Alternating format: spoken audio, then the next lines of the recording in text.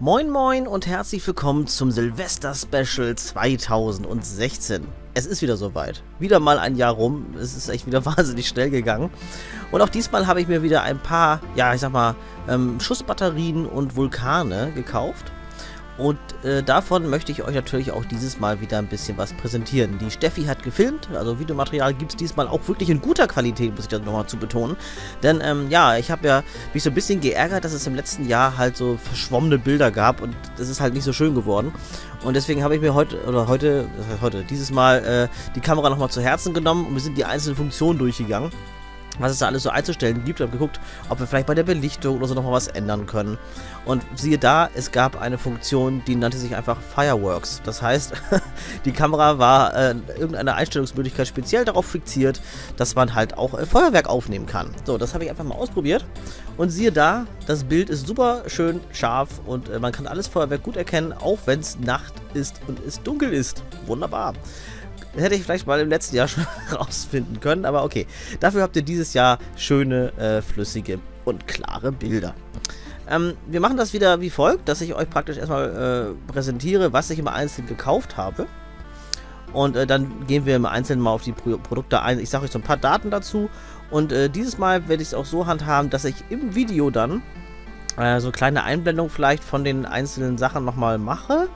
Oder ich schreibe einfach nochmal rein, was genau wir da jetzt sehen. Und dass ihr dann in einer gewissen Reihenfolge dann sehen könnt, was ist eigentlich genau was. Was auch für mich dann gut ist, dass ich dann besser auseinanderhalten kann, was ich schon mal gemacht habe. Ne? Und äh, was ich schon mal gekauft habe. So. Und ähm, ich habe nochmal im Nachhinein geguckt, also ich glaube, von den Sachen, die ich euch jetzt präsentiere, hatte ich im letzten Jahr gar nichts. Das weiß ich auf jeden Fall. Im vorletzten Jahr weiß ich es jetzt nicht, da habe ich noch nicht reingeguckt. Aber ich denke, wir fangen einfach mal an. Hier seht ihr ein Gesamtbild von meinen Errungenschaften in 2016. Äh, ich habe es jetzt so aufgetürmt, es sieht fast aus wie so eine kleine Lok, aber es sind insgesamt äh, fünf einzelne Feuerwerksbatterien oder auch Fontänen. Und wir kommen direkt mal zum ersten. Den habe ich eigentlich nur mitgenommen, äh, weil es einfach so witzig aussah. Das gab es in verschiedenen Ausführungen. Ich habe hier jetzt den bösen Chef. Und äh, das ist einfach so eine ganz normale Fontäne, sag ich mal. Steht 100 Schuss drauf. Und äh, ja, 22 Sekunden Brenndauer, was jetzt nicht viel ist, ne? ist aber dafür hat es, glaube ich, auch nur 2,99 Euro gekostet. Also war relativ billig. Werdet ihr hinterher aber auch sehen, dass das jetzt nicht sehr überragend war. Also ich spreche natürlich jetzt das hier alles schon, nachdem das alles gefilmt wurde, ne? ist klar. Und deswegen kann ich euch schon mal so ein paar Sachen geben, ob es sich lohnt oder nicht. Also der böse Chef lohnt sich nicht wirklich. Ich habe aber im Laden gesehen, dass es halt dazu noch, ja, böse Nachbarin, böse Oma, böse Opa, äh, böse Oper vor allem. Böser Oper, äh, was gab's noch? Ah, da gab es mehrere Sachen. Also gab es einige Ausführungen. Und ähm, böser Lehrer, genau, gab es auch noch. Und äh, das war halt der billigste von allen, der böse Chef. Und äh, ja, also die Effekthöhe soll 8 Meter betragen. Das kam, glaube ich, auch hin. Ähm, ja, aber sieht halt nicht so berauschend aus. Also das war so ein kleiner äh, Niederschlag, sag ich mal, aber war halt auch nicht groß zu erwarten. Hat halt nichts gekostet. So, dann präsentiere ich euch hier das nächste Objekt. Moment, ich blätter gerade selbst für mich die Bilder weiter. Ja, das ist die riesige Überraschung in diesem Jahr gewesen. Nämlich dieser Vulkan, King Size. Ja, ein XXL Mega-Vulkan, so steht es halt drauf. Und was mich halt äh, ja, dazu be bewogen hat, den zu kaufen, ist 180 Sekunden Effektdauer. Das klingt ziemlich viel, weil es sind drei Minuten. Ihr müsst mal vorstellen, dass ihr da drei Minuten wirklich steht und äh, das angucken könnt. Und ich habe geguckt, das kommt tatsächlich hin. Also das ist wirklich Wahnsinn, was da rauszuholen ist. Ihr könnt nachher mal die Zeit stoppen. Das kommt tatsächlich ungefähr hin. Ähm, eine Dreifachverwandlung, also so ein Drei-Phasen-Vulkan, sag ich mal. Und äh, ja, das stimmt auch. Also es sind 500 Gramm an äh, wie nennt sich das, äh, Masse an, an ja, nicht Sprengmasse oder Effektmasse, wie heißt das, keine Ahnung. Also 500 Gramm an Sprengstoff sind da drin, ähm, so grob gesagt. Und wirklich, da bin ich sehr von überrascht. Das ist das eigentliche Highlight, muss ich sagen, in 2016 jetzt gewesen an Feuerwerk. Denn was ich eigentlich als Highlight außer Koren hatte, war zwar okay, aber bei weitem nicht so ja, überraschend wie dieses Teil. Also diesen Vulkan kann ich wirklich weiterempfehlen. Den werde ich mir wahrscheinlich auch im nächsten Jahr nochmal wieder kaufen weil der war einfach cool. Und der hat auch nicht so viel gekostet. Ich glaube 15, vielleicht maximal 19. Irgendwo in der Spanne hat der, glaube ich, gekostet. Und dafür ist das vollkommen in Ordnung. So, kommen wir zum nächsten. Äh, das dritte Objekt meiner Begierde war der Gigashot. Und ähm, der Gigashot äh, ist so ein ja, so ein Sammelsurium, also drei Stück zusammengeschweißt, sag ich mal. Ist auch eigentlich so ein Drei-Phasen-Ding, weil es halt drei verschiedene Batterien auf einem Block zusammengeklatscht sind. Ne? Wenn man das alles zusammennimmt, hat man, glaube ich, eine Brenndauer von 30 Sekunden. Stand da, glaube ich, nee, steht 55 Sekunden. Was habe ich mir da aufgeschrieben? Ich bin beim Falschen. Alles klar. 55 Sekunden ist richtig, natürlich. Und äh, ja, 49 Schuss. Kaliber von 22 mm und eine Effekthöhe von 35 Meter, was schon ziemlich beachtlich ist. Und ja, der war in Ordnung. Also da kann man echt nicht meckern. Ähm, ich weiß jetzt gerade nicht mehr hundertprozentig, was er gekostet hat, aber ich glaube nicht allzu viel. Ich denke mal um die 20 bis 25. Ähm, war okay. Doch, also den kann ich durchaus weiterempfehlen. Gigashot lohnt sich. Die Bilder, die da abgebildet sind, sind nicht gelogen. So ungefähr sah es auch aus. Werdet ihr dann gleich sehen. Und ähm, ja, das ist praktisch dann das dritte Objekt, was wir dann gleich anzünden. Und äh, ja, der ist durchaus empfehlenswert. Ich mache euch nochmal so ein paar Bilder ran, wie es dann ausgepackt aussieht, dass ihr mal seht, was da eigentlich hintersteckt. Das ist immer so pompös eingepackt und sieht voll geil aus. Und wenn du es hinterher auspackst, hast du einfach nur so drei Klötze, die dann irgendwie noch mit einem, äh, ja, so einer Zündschnur äh, verbunden sind, damit man nur einmal anzünden muss. Aber im Endeffekt ist da halt nicht viel drin. Das sieht einfach voll billig aus. Ne? Aber ja, die Verpackung, die Verpackung macht's halt. Das ist halt immer das, wo man sich dann wieder überreden lässt. Aber okay. So, dann kommen wir zum äh, vierten Objekt. Kingdom auch wieder von der Marke Komet. Ich glaube, ich habe hauptsächlich wieder, also ich, ich nehme meistens immer Sachen von Komet und von Weco, weil das in meinen Augen so die besten Sachen sind. Es gibt natürlich auch so Billig-Marken äh, oder No-Name-Marken, sag ich mal, aber Komet und Weco sind normalerweise schon die, wo ein bisschen was hintersteckt. Womit ich jetzt nicht andere schlecht reden will. Das sind halt nur meine Erfahrungen, die ich gemacht habe. Ja, das hat eine äh, Effektdauer von 30 Sekunden. Äh, ist okay, ne? Halbe Minute. 40 äh, Meter Effekthöhe. Also auch schon ziemlich hoch es muss nicht sagen, äh, heißen, dass das dann unbedingt besser ist, wenn es höher ist, aber äh, es wirkt einfach ein bisschen mächtiger, sag ich mal, wenn das halt weit oben im Himmel explodiert. Das ist irgendwie so. Äh, 15 mm Kaliber und 64 Schuss. Ähm, war durchaus in Ordnung. Konnte man sich äh, auf jeden Fall kaufen. Bereue ich nicht.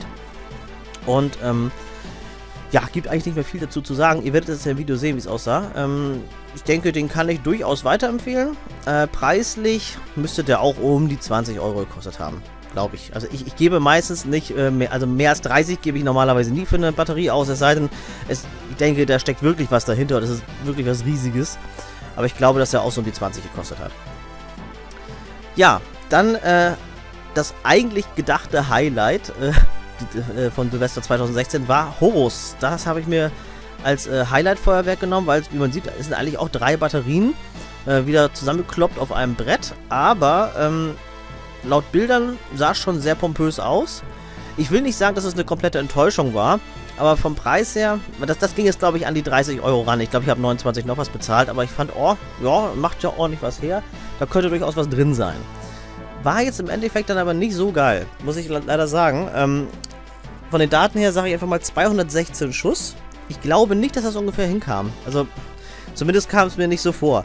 Äh, 130 Sekunden ähm, könnte hingekommen sein. Ich glaube eher, es war kürzer. Also ich glaube nicht, dass es über zwei Minuten ging. Aber okay, will ich mal drüber hinwegsehen. 40 Meter Effekthöhe würde ich sagen, ist okay. Und 305 Gramm Masse. Also, Ex ah, Explosivmasse, steht es ja auch drauf. Genau, Explosivmasse. Ja, ähm, ist okay, würde ich jetzt nicht zwingend weiterempfehlen. Also wenn ihr was äh, Schönes ausseid, wo ihr auch ein bisschen was von seht, äh, wo ihr sehen wollt und ja, was ein bisschen farbenfroher ist, dann würde ich eher echt den Vulkan in diesem Jahr empfehlen, nicht unbedingt Horus. Also ist okay, aber ich würde es nicht unbedingt raten, den zwingend zu kaufen. Für das Geld kriegt ihr auf jeden Fall was Besseres. Das muss ich so sagen.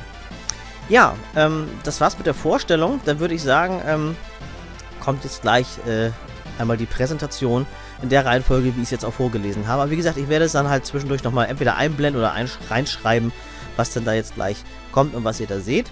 Und ich hoffe, ihr habt Spaß am Videomaterial und ich wünsche euch schon mal ein frohes neues Jahr und gut Schuss.